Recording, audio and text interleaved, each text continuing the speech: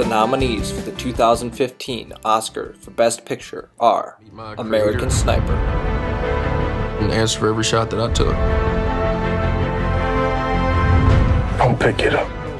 The Imitation Game, Never understand the importance of what I am creating here. Our patience has expired. No! Birdman, or The Unexpected Virtue of Ignorance, You're Birdman. Let's go back one more time and show them what we're capable of. Selma, I've seen the glory, glory, glory, hallelujah. What happens when a man stands up, says enough is enough? Boyhood, Mom. Have you been partying? A little bit. Oh.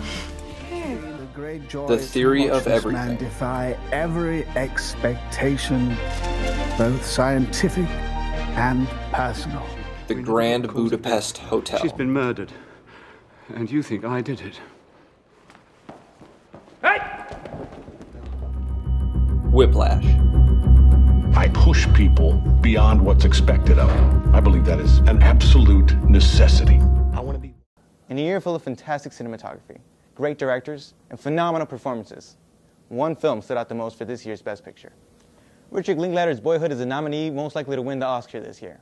Not so much for its work ethic, but for its stamp on movie making history. It took 12 years to make, for Pete's sake.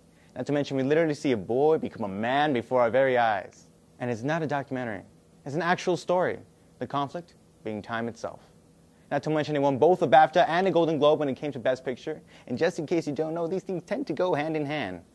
It's a movie about growing, a movie about learning, and most importantly, a movie about discovering what it means to live.